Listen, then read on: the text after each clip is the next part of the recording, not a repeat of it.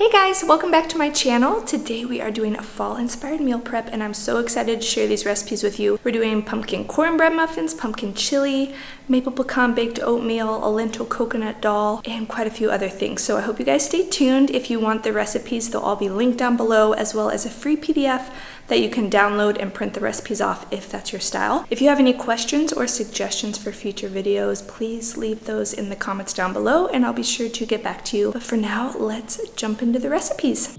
Okay, so to start, I'm going to bake some potatoes. I love to use russet potatoes. They just seem to go well with everything and make a great base. So just wash the outside, poke them with a sharp knife or fork so they don't explode, and then you're just gonna rub some olive oil and sea salt on the outside. And this just adds a lot of extra flavor and some crispiness. And then just bake these in the oven for about an hour or until fork tender. And while they bake, you can move on to some other recipes. So I am making these pumpkin cornbread muffins this week and they're perfect for fall. Really easy to make, just whisk together all of the wet ingredients until smooth. And then you're gonna add in your dry ingredients, cornmeal, whole wheat flour, leavening agents, spices, all the recipe ingredients will be listed below. And then you're going to stir in some neutral oil at the very end and whisk until just combined. You don't want to overmix or else your muffins will be tough. And then you're just going to divide this batter evenly among some muffin liners and bake these in the oven as well. They rise beautifully and are nice and fluffy and perfect for fall. Another oven recipe is this maple pecan baked oatmeal. I love to start with a layer of really ripe bananas on the bottom of my baked oatmeal. It just adds sweetness and they get caramelized in the oven, but if you don't like bananas, you can totally skip this step. And then to make the batter, you're gonna start again with the wet ingredients, some flax egg, non-dairy milk, and maple syrup for the maple part. And then you're gonna stir in the oats and spices and some chopped pecans and stir this until all combined and pour this over the bananas. Then just use a spatula or spoon to make sure the oatmeal and the wet mixture is evenly distributed, top with some more pecans, and bake. Next, I'm making a coconut lentil dal. This is really easy to make, especially if you have a pressure cooker. You can also make it on the stove top, so don't worry if you don't have a pressure cooker. Just start by sauteing some onion, garlic, and fresh ginger until soft. Add in some spices, Stir that to combine and cook it until fragrant. Stir in some split lentils and water and some salt. And then in a pressure cooker, this takes just 10 minutes to cook.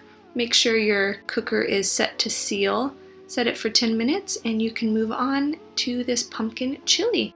This is one of the favorite recipes on my blog. It's really easy to make. Just saute some veggies in a little bit of oil. Usually I would have red pepper in this pot as well, but I forgot about it and ate it and then add in your spices and the rest is mainly just some pantry staples like chopped tomatoes, some canned beans, and then the secret ingredient, pumpkin puree that did not look appetizing coming out of the can, but trust me, it gets thick and creamy. Just add in a little water to thin and let this simmer until all the flavors meld. And that's it. Next, I'm just gonna steam some broccoli. This actually wasn't a part of my plan, but I had it in my fridge, and I find that we eat more vegetables when I take the time to prepare them or cook them ahead of time. So I just cut my heads of broccoli into florets and I'm just steaming them in a wok because I live in Asia. And yeah, it takes about five ten minutes and just strain off the extra water. Let them cool before you can store them in a container. Having the broccoli ready to go just makes it really easy to add some extra veggies to your meals throughout the week. For a dessert, we're going to make some homemade hot chocolate mix. This is really easy. Just add some cane sugar or turbinado sugar to a high-powered blender or food processor and process it until it's more of a powdered sugar consistency. Then you're going to add in some salt and cocoa powder and blend until it's all nice and combined. And then all you have to do is store this in a jar and it's really easy to add this to some hot milk for some hot cocoa throughout the week. Next up, we're making a cashew sour cream, and it is so easy to make. It's just soaked cashews, some lemon juice, apple cider vinegar, salt, and water, and you'll just blend this until smooth and creamy, and this will go perfectly as a garnish on all of the savory recipes we made this week. I've been having this in my fridge at all times lately. It's just so good. So by this point, all of your other foods should be ready and out of the oven, and you'll just want everything to cool. You'll have your pumpkin cornbread muffins, your beautifully caramelized maple pecan baked oatmeal. Look at the edges of that. It I kept ripping off those little pieces of gooey maple syrup on the edges. It's so good, and you'll have your baked potatoes, all your garnishes, your veggies, your pumpkin chili, and the dal should be ready. I just stirred in some full fat coconut cream, added more salt to taste, let it cool a little bit before pouring it into a container and storing it in the fridge. And for meals, it's going to be so easy to just serve up a hearty plate of food. You've got loaded baked potatoes with the chili and the vegan sour cream. You can put the dal on top of some rice and serve that with the veggies and whatever fresh garnishes you have.